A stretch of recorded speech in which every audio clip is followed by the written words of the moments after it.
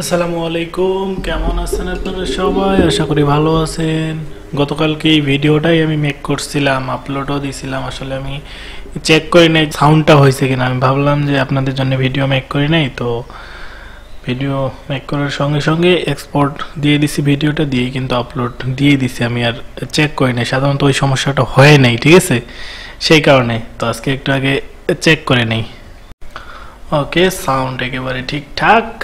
তো আমরা চলে যাই আমাদের কার্যক্রমে, তাই না? আমাদের ভিডিওটা হবে আজকে হলো ফন্ট ফ্যামিলি নিয়ে। ওপেন করে নিলাম, ওপেন করে নিয়ে। আজকে আমরা দেখব যে আমরা আমাদের এই টেক্সটগুলো যেগুলো ইউজ করি আমাদের ওয়েবসাইটের ভিতরে লাইক হেডিং প্যারাগ্রাফ হাবিজাবি যা আছে সব কিছু আমরা এগুলোর ভিতরে কীভাবে একটা ফন্ট ফ্যামিলি অ্যাপ্লাই করতে পারব? মানে ফন্টের চেহারা, ধরন, মনে করেন যে মেকআপ করে, মনে করেন যে, মুখের ভিতরে যেই দাগ দুগ আছে সেগুলো মনে করেন পূরণ করে দিবেন লাইক এস ওকে আমি একটু বেশি কথা বলতেছি, বুঝতে পারতেছি। তো মনে করেন যে এই ওয়েবসাইট এই ফোনটা দেখেন কেমন কিন্তু আলাদা না? এই ফোনটা কিন্তু আলাদা, তাই না? এই ফোনটা কিন্তু আলাদা। সো আজকে আমরা দেখব যে আমরা কীভাবে ফোনটা অ্যাপ্লাই করতে পারি আমাদের ওয়েবসাইটে ঠিক আছে? সো এর জন্য আমাদেরকে চলে যেতে হবে ফন্টস ডট গুগল ডট কমে আপনারা যদি গুগলে সার্চ দেন যে গুগল ফন্টস লিখে যদি সার্চ দেন, তাহলে কিন্তু সেটা পেয়ে যাবেন ওয়েবসাইটটা ফন্টস ডট গুগল ডট কমে ঠিক আছে? তো ঢুকলাম, এই ওয়েবসাইটের ভিতরে, এই ওয়েবসাইটে ঢোকার সাথে সাথে আমরা এখানে দেখতে পাবো যে এখানে বিভিন্ন ধরনের ফন্ট আছে, ঠিক আছে? সো এইখান থেকে আমরা এই ফন্টগুলা কীভাবে আমাদের ওয়েবসাইটে অ্যাপ্লাই করতে পারি, আজকে আমরা কিন্তু সেটাই দেখব। কেমন? লাইক অ্যাস মনে করেন যে আমি এই হ্যাকা বেকা ফোনটা ইউজ করব, ঠিক আছে? দেখি কোনটা। ওকে দ্যাটস গুড আমরা এইটা ইউজ করি হ্যাঁ? এটা একটু স্টাইলিস্ট মনে হচ্ছে।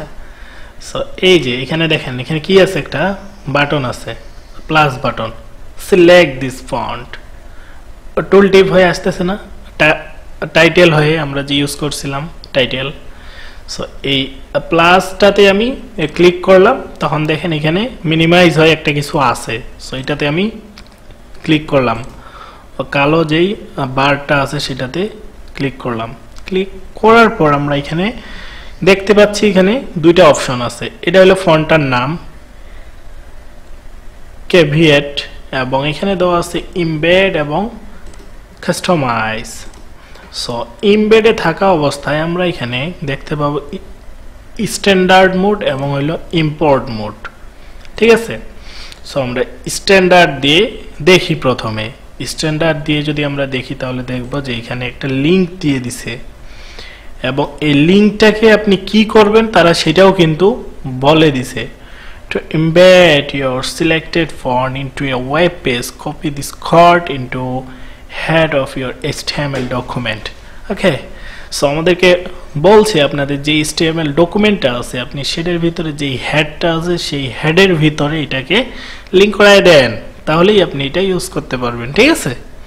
সো আমরা কি করলাম? আমরা এখানে এই লিঙ্কটা নিলাম। এই লিঙ্কটা নিয়ে আমাদের যেই হেডটা আছে, আমরা যে HTML কোড লিখি, আমরা কিন্তু এখানে হেডের ভিতরে কি রাখি? টাইটেল রাখি এবং লিঙ্ক রাখি। সো আমাদেরকে বলছে যে এই হেডের ভিতরে যে কোনো জায়গায় তুমি এই লিঙ্কটা আনে পেস্ট করে দাও। ঠিক আছে? সো আমি এখানে পেস্ট করে দিলাম। এরপরে আমাদেরকে কি করতে বলছে? বলছে যে, specify in css use the following css rules to specify these families.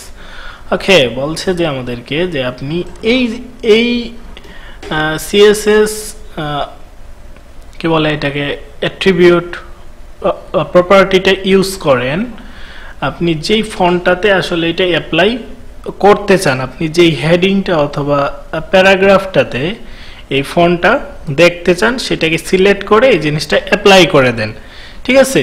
So আমি এইটা সিলেক্ট করে নিলাম কপি করে নিলাম কপি করে নেওয়ার পর, আমি চাচ্ছি যে এখানে যে ফার্স্ট প্যারাগ্রাফটা আছে, আমি সেটাতে ইউজ করব এখন। এই ফার্স্ট প্যারাগ্রাফটাকে সিলেক্ট করার জন্য আমাদেরকে কি করতে হবে?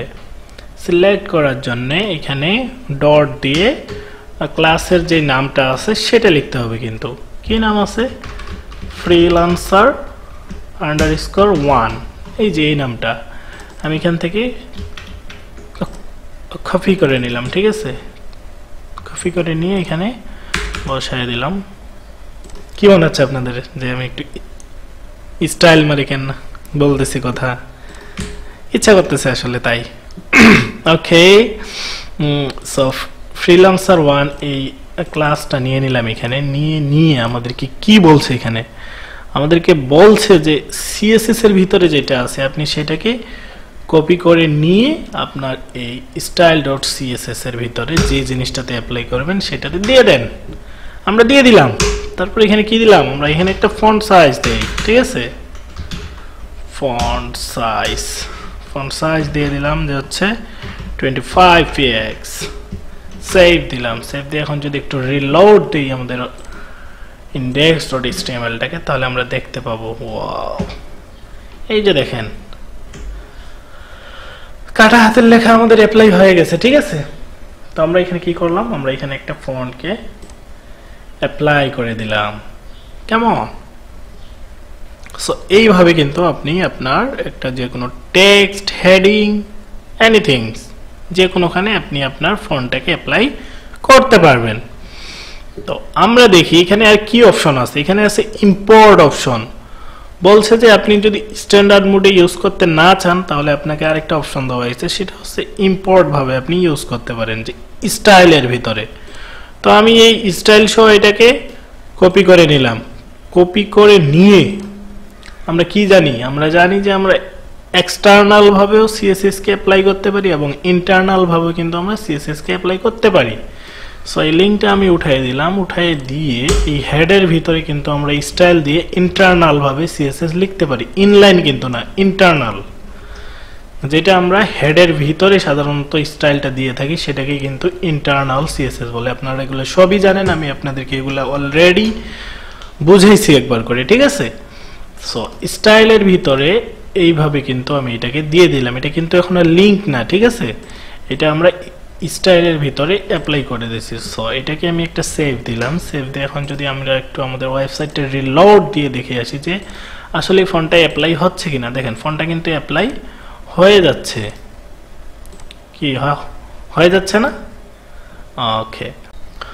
ওকে সো আমরা এইভাবে কিন্তু আমাদের ওয়েবসাইটে আমরা আমাদের ফন্টটাকে অ্যাপ্লাই করে দিতে পারি, ঠিক আছে? অ্যাপ্লাই করে মনে করেন হেডিংয়ে দিলাম প্যারাগ্রাফে দিলাম, মনে করেন যে হেডিংয়ে একটা ফন্ট ইউজ করলাম, তারপরে প্যারাগ্রাফে আরেকটা ফন্ট ইউজ করলাম, ঠিক আছে? এইভাবে একটা ওয়েবসাইটকে আরও সুন্দরভাবে রিপ্রেজেন্ট করতে পারব আমরা, ঠিক আছে? তো আশা করি বুঝতে পারছেন, ভালো থাকবেন, সুস্থ থাকবেন, আমার জন্য দোয়া করবেন। আর আশা করি এখন একটু কাজ নিয়ে ব্যস্ত আছি তো, সেই হিসাবে আর কি ভিডিও আপলোড দেওয়া হচ্ছে না ইনশাল্লাহ আজকে থেকে ভিডিও আবার কন্টিনিউলি আসবে। Thank you so much bye bye tata.